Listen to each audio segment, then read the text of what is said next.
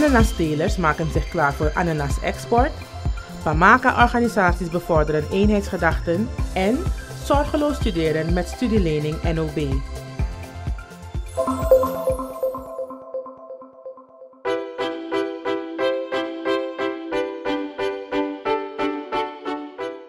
De ananastelers van Redidotti en Pierre Condré zijn in 2017 gebundeld in de agro-coöperatie Redidotti en Pierre Condré. Het doel van deze coöperatie is om afzetmarkten te creëren voor de ondernemers en hen te trainen zodat zij kunnen voldoen aan internationale standaarden. Om eerlijk aan te geven, dat dingen zo begonnen dat wij als een, een telers, we hebben jaren aan de weg getimmerd met verschillende regeringen. En, uh, het is nooit gelukt om afzet voor ons te kunnen creëren. Maar um, de laatste zeven tot acht jaren is het wel gelukt om dat te doen. En, en, toen kwam meneer een soeverein in beeld. En toen begonnen wij als civiele boer te leveren aan meneer soeverein. En daarna was het weer een sprake van een, uh, dat we een lening of een grant zouden krijgen maar om die grant te kunnen krijgen moet je zelf gaan verenigen, hadden ze toen aangegeven. Dus wij dachten eerst aan een stichting, maar later door praten met andere mensen is het gebleken dat een, eh, als we een coöperatie richten, dat dat de, de beste zou zijn. En toen hebben we daarvoor gekozen. We zijn eigenlijk zijn twee dorpen die bij elkaar zijn gekomen. Dat is Redidot en Pierre Condré. En zodoende hebben we de naam gecreëerd naar een uh, coöperatie Redidot en Pierre Condré. We zijn bezig aan het telen. We proberen het naar een, uh, op een andere manier te doen dan vroeger. Vroeger was het de, de traditionele manier van even planten en dan hossel. Maar we willen proberen de coöperatie te tellen naar de hoogte van de ondernemer. En daarvoor hebben we dus uh, wat plannen uitgezet die we in samenwerking met de overheid, het dorpsbestuur en de leden van de coöperatie willen uh, uh, eigenlijk gestalte willen geven. Um, in het kader daarvan zijn we dus bezig de oude percelen of de oude gronden waarop vroeger gedeeld werd in kaart te brengen. Om te kijken hoe we dat weer kunnen inzetten als uh, ananasgrond. Of uh, als grond om ananas op te telen. Um, waarom we dat willen doen? Kijk, Suriname heeft zoveel verdragen getekend met buitenland met internationale organisaties betreffende het milieu. Um, de, de, de, de eisen die nu worden gesteld zijn dat je dus uh, geen nieuwe bossen mag openkappen voor het telen van whatever. Dus de oude gronden die we 15, 20 jaar terug gebruikt hebben, die we willen we weer in productie brengen. En aan de hand daarvan, zodoende dus de, de, de, de nieuwe bossen of de bossen die bestaan, besparen. Waardoor het milieu dus ook niet te, te zwaar beschadigd wordt. Want als je steeds moet openkappen, krijg je op een gegeven moment woestijnvorming en uh, savanne, waar je dus niks aan hebt. Ik ben uh, ondernemer. Ik, uh, ik doe aan uh, ananasteelt. Ik doe het om en bij, om en bij 25 tot 30 jaar of zo. Dus dit is eigenlijk mijn, mijn, mijn, wat, ik, wat ik verdien, wat ik eruit verdien. Dit is eigenlijk mijn broodwinning. Het is hard werken. Het is elke dag plannen wat je gaat doen wanneer, wanneer je een dagje voor werk om en bij, je komt tegen 6 uur s morgens, je gaat om en bij tegen 10 uur, half 10 weg. En dan begin je al te plannen voor de volgende dag. wat moet je doen? Ga je, ga, je, het, uh, ga je, ga je schoonmaken? Ga je kijken naar de uh, insecten of zo? Dus je hebt, je, hebt, een hele plan voor oog wat je gaat doen. Hè? Een hele plan voor het hele jaar. Als individu kan je dus uh, je, je, je, eigen gangetje gaan. Je kan planten, je kan telen. Maar door samen te werken met de groep krijg je dan meer ervaring. Omdat ze bijvoorbeeld ziekten die je gaat tegenkomen bij de plant die je nog niet kent, van mensen die al 40 en 30 jaar erin zitten, die kunnen uh, ja, gewoon vertellen van hey, dit is het. En daarmee moet je het bestrijden. Ja, milibi kijk me tak jong wat voor je doe bij plan nasi voor zich. Tok. Dan breng ik tak kan je ons tu barki drie barki nasi. De denk tak yo e van nasi gue tok manu fokus si tak yo opa coöperatie wij leveren fabriek De afnemer van de ananasboeren verkoopt biologische producten. Hierdoor waren de boeren genoodzaakt trainingen te volgen in biologische teelt. Het proces van certificering van hun velden is momenteel gaande.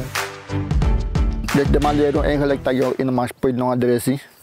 Dat na biologisch nog. Ja, dat leer. En eigenlijk een praten nasi nu tak yung Lek van door je planning, tak in rij, pas je kon min jagrong. Dat alles na te leren in een training. Wat er eigenlijk moet gebeuren is dat je zonder chemicaliën je, je, je aanplant laat groeien. Dus van de natuur uit. En, en uh, wij hebben het jaren, jaren zo gedaan. Ja. En tot nu toe lukt het wel. Het zorgt op de eerste plaats voor economische en sociale vooruitgang voor de twee dorpen. Heel veel. En het, uh, in het algemeen voor Para zelf, Para-districts. Dat is heel veel voor ons. Uh, je ziet dat je op een, op heel andere manier moet gaan telen en zo. Los van de traditionele wat we al eerder hebben, jaren hebben gedaan. Je ziet dat het, het is een heel, een, een heel transformatie, een heel, het is een hele uitdaging voor ons. Omdat je, je wordt geconfronteerd met, laat me zeggen, nieuwe, nieuwigheden binnen de, het sector zelf. Je, je, moet je, gaan, je moet je gaan bijscholen en zo bepaalde zaken. Dus het is een hele uh, omschakeling wat we moeten maken. Onabesap van abef prani, dus gewoon ube prani. Maar nu, de maleru no, taki biologisch een prani. Dat dan taki no potpepsi, dergelijke, gramaxoon, comfort in prani uh, naar de natuur. De koperij is voor mij heel veel, heel veel betekent. Op de eerste plaats uh, een heel ommekerende telen van ananas. Uh, het heeft gezorgd dat ik meer, kan, gaan, gaan, meer moet gaan doen aan het ananas, aan het verbouwen van ananas zelf. En dat betekent als je goede producten wil hebben, dat je aan bepaalde, laat standaarden moet voldoen, om het zo te zeggen. En het heeft echt gezorgd voor vooruitgang in mijn, laat maar zeggen, mijn eigen privéleven en zo. Je kan met betere, je hebt de afzetmarkten. In de brokko je eerder voor goed dan Morgen als ik opzag ga het oosten, waar ga ik het afzetten? Nee, er is afzet uh, genoeg om het af te zetten. De coöperatie bestaat momenteel uit 11 ondernemers en streeft ernaar om hun ananas te exporteren. De internationale standaarden eisen organische teelt van de agrarische sector en de coöperatie hoopt de wereld te veroveren met hun biologische producten.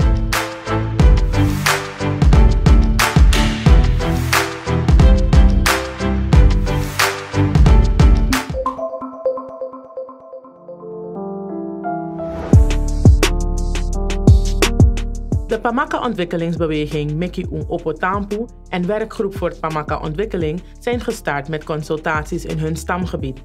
Ze hebben onlangs in Snesi Kondre vergaderd met kapiteins, organisaties en sleutelfiguren. De beweging gelooft in eigen kunnen en dat duurzame ontwikkeling van hun dorpen sterk afhangt van de gezamenlijke motivatie en samenwerking. We legden uit dat je als een organisatie die opoja kon fu chai a samenwerking tussen de organisatie Ainia Liba, kon bondru fu chai a, a Pamaka gebied uh, uh, wa, hoger level. We kon fu tegen den taki ayu do fu opo fu a duurzaam ontwikkeling uh, kon in a Pamaka gebied. En amo belangrijk zijn dat ik umu bondru anu en alles amamu yepi uh, fade man fu chaya ontwikkeling kwa in a Pamaka gebied.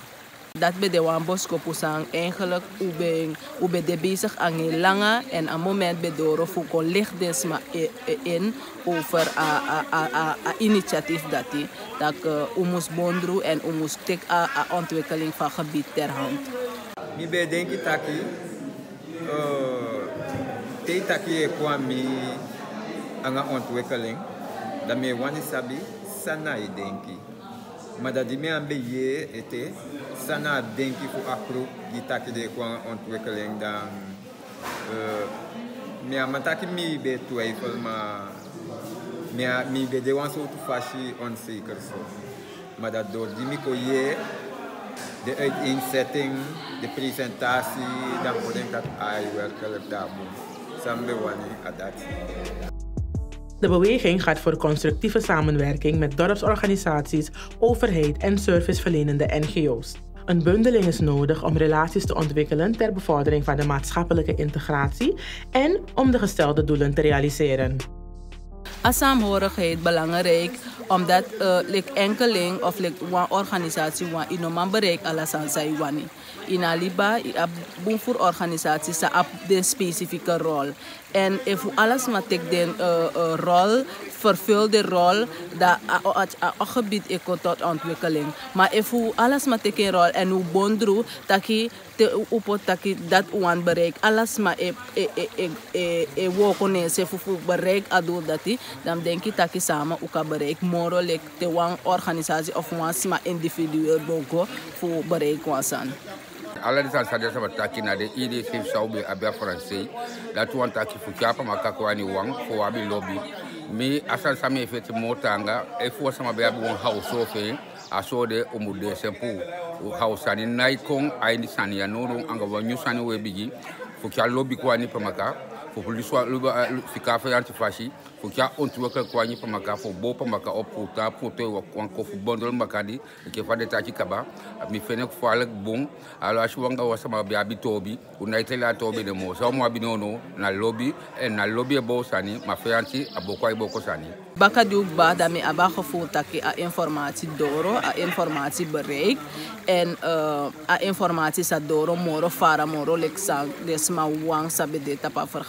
vergadering a bosko kusang mi abiga organisasi na taki de mu holi godo. A standpunt san de teki di amu di amu gua bakafu meki den godo wisi so tu teken slag de kishi wa natuurlijk te bigi wansani yo we yo we miti dieptepunt ala so tu fashi maar dat ino moet demotiveren dan sami wani mi wani bemoedig ding moedig ding aantakken de holy godo De bijeenkomst heeft plaatsgehad tussen Nancy Kondre, Resort Paramaka in het district Sipaliwini. Traditionele gezagdragers, lokale organisaties en prominenten in de Pamaka-samenleving waren aanwezig.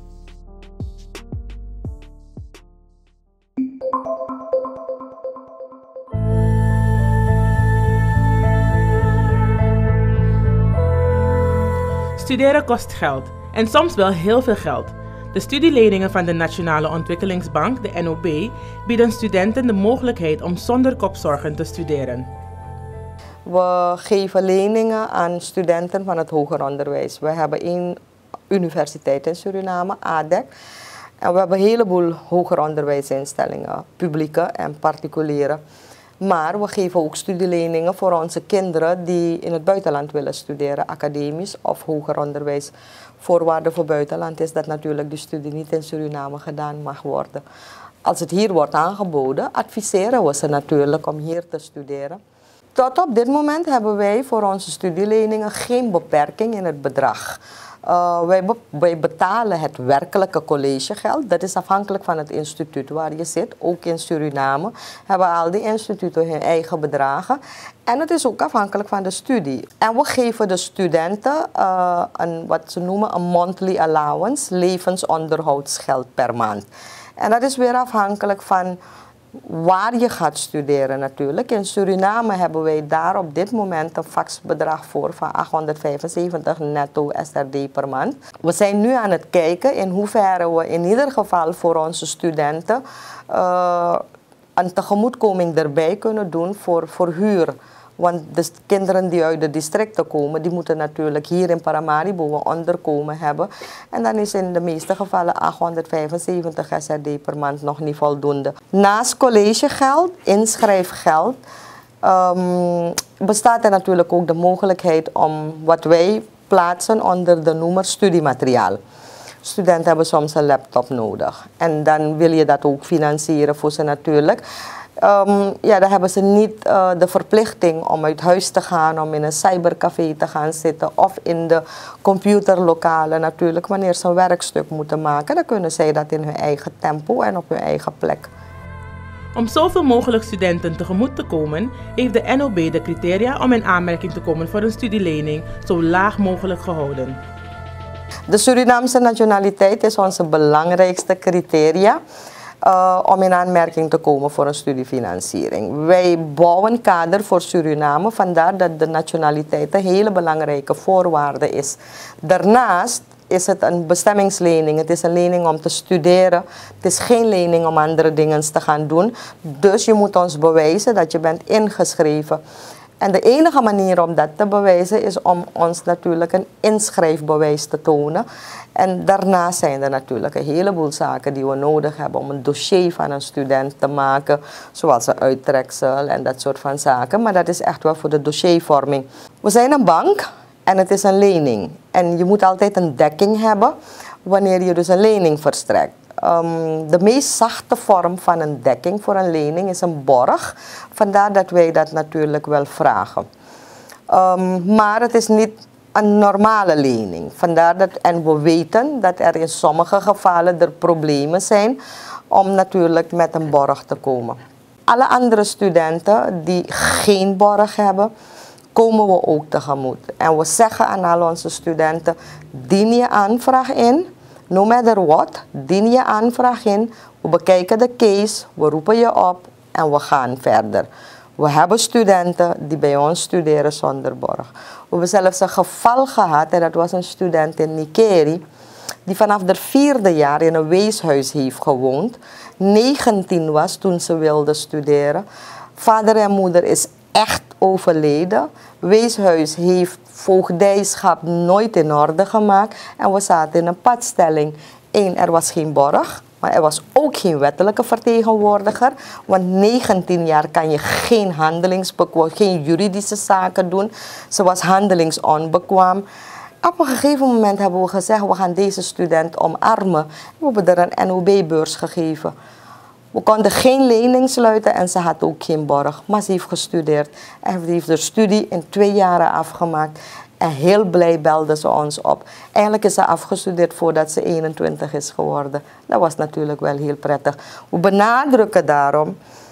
Ga niet af op praatjes en alle andere verhalen over wel of geen borg. Dien je aanvraag in. We willen dat echt wel bekijken. Voor het aflossen van de lening kunnen regelingen getroffen worden.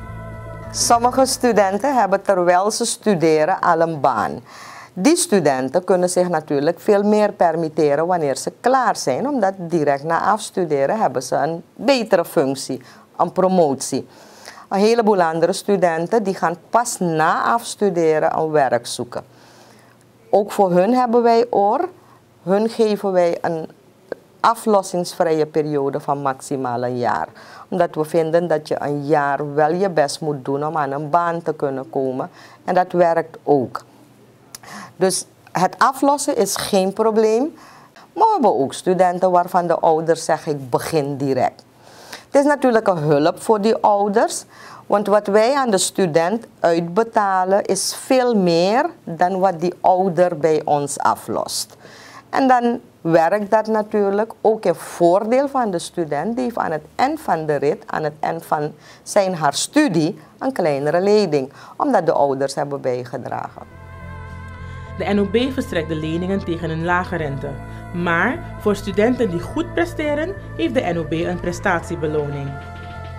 De rente voor de leningen in Suriname is 4%. De rente voor het lenen in het buitenland is 6%. Een klein verschil natuurlijk, omdat we in het buitenland ietsje meer risico lopen. In beide gevallen, zowel binnenland als buitenland, heeft de student de mogelijkheid om te presteren en dan te genieten voor van onze prestatiebeurzen. Als je dat doet, dan kan je lening een renteloze lening worden. Dus dat ook. Ook dat hebben wij. En we wachten niet tot het einde van een studie. Reeds in het eerste jaar of in de eerste fase, wanneer een student met een gemiddelde, nogmaals gemiddelde, niet alle vakken, maar alle vakken bij elkaar opgeteld en dan gedeeld door het aantal vakken een 7,5 heeft, als gemiddelde cijfer beginnen we direct in hetzelfde jaar de rente als korting terug te geven aan de studenten. In vergelijking met de normale studieleningen heeft de studielening van de NOB diverse voordelen.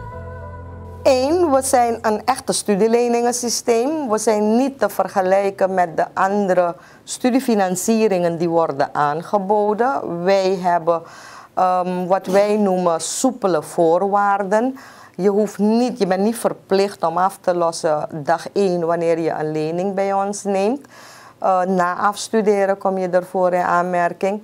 Je hebt de ruimte om zonder hoofdpijn, zonder financiële hoofdpijn, uh, hoe moet ik dan naar de campus toe? Uh, of hoe moet ik naar mijn onderwijsinstelling toe? Uh, vooral de groep die natuurlijk in de middag studeren op de particuliere opleidingen, die hebben misschien een baan, maar die baan is dan ook gekoppeld aan bijvoorbeeld een middelbare schoolopleiding, dus een lager salaris, geeft je gewoon de mogelijkheid om een hoger onderwijs een opleiding te gaan doen en daarmee natuurlijk jezelf als econoom zeg ik een hogere marktwaarde voor jezelf te creëren, waardoor je natuurlijk met een hogere marktwaarde ook veel beter in staat bent. En als je tot veel beter in staat bent, ga je natuurlijk ook veel meer verdienen. We kunnen geen land ontwikkelen zonder kader. We kunnen alle bedrijven oprichten, we kunnen alle machines hier hebben. Maar als we de mensen niet hebben om na te denken en als we de mensen niet hebben om die machines te bedienen, dan zullen we die ontwikkeling nooit halen. En daarvoor zijn we een Nationale Ontwikkelingsbank. Momenteel heeft de Nationale Ontwikkelingsbank een leningenbestand van rond de 3500.